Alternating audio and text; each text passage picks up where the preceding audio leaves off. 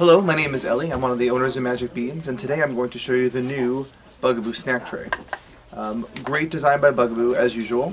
Um, a great uh, space to put a sippy cup or a bottle, and it also has this really cool cover that slides open and shut, uh, where your child can put their snacks or Cheerios or goldfish or whatever they enjoy eating. The Bugaboo snack tray works on um, the Bugaboo Cameleon and on the Bugaboo Donkey. It does not work on the Bugaboo Bee. It's a really great design because all you have to do is simply remove the, the bar and the snack tray clicks right in.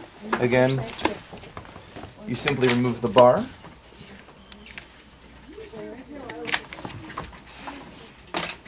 and you can attach the snack tray to the donkey.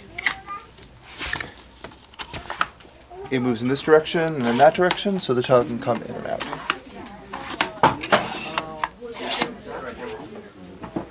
Mm -hmm.